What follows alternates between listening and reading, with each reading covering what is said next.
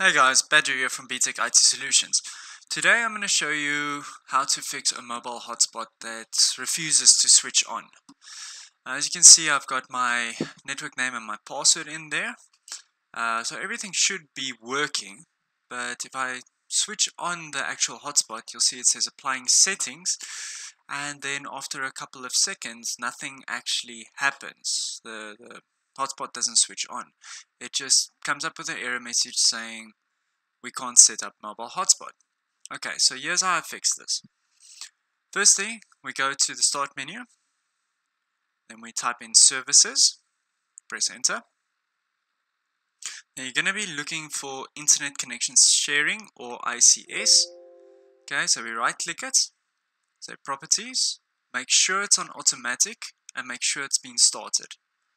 Okay, so we say OK, close this.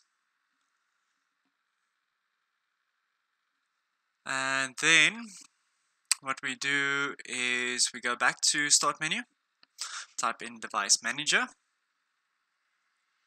Okay, open that. Now you'll see I've got two virtual adapters here and for some reason they've been disabled. So just right click each of them and say enable device, let it refresh Close the device manager, go back to your mobile hotspot and then switch it on. And if all goes well, it should now be working. Alright guys, I uh, hope that helped uh, some of you. And then as always, please remember to like and subscribe. And then I'll see you guys in the next video. Okay, bye.